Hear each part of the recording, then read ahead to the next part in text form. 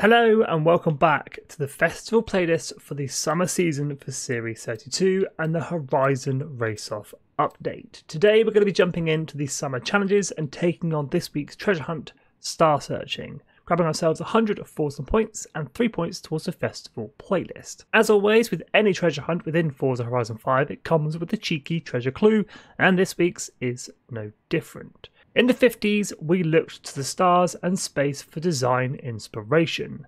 Take a space age car and look for the tool to see the bright night sky. Now, for this week's treasure hunt, we need any car from the 1950s. I'm going to go ahead and use the car pictured on the festival playlist, and I'm going to use the 1953 Chevrolet Corvette. But as long as the car is from the 1950s, you should be good to use it.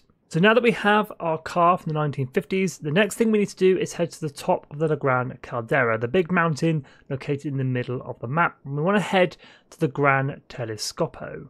So with the Gran Telescopio dead ahead, we're going to do one of the easiest treasure hunts within Forza Horizon 5. We've actually already completed it. We've got the beautiful words, treasure challenge complete. But all we need to do is drive up to the Gran Telescopio using our car from the 1950s. So with that super easy treasure hunt complete, it's at this point you can head back to the festival playlist where the treasure hunt tile will have changed to give you a visual clue of where this week's treasure is located. Not to worry though, spoiler alert, I'm about to show the exact location for this week's treasure and we are heading to the top left hand corner of the map, the Bahía de Plano, where you're going to find this week's treasure located. So I guess all that is left to do is to go and find ourselves some treasure, and this week's isn't too difficult to find. On this bend, located on the right hand side, is our treasure next to this boat, just through this fence.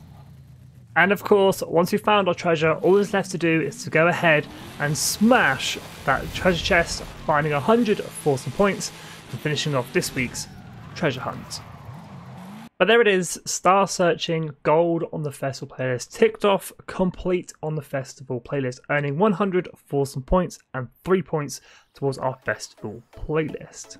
I truly hope this tutorial helped you out in one way or another. As always, thank you so much for watching. If you are new to the channel, definitely consider subscribing. Smash the like button, share the video with a friend, stay safe, and I'm out.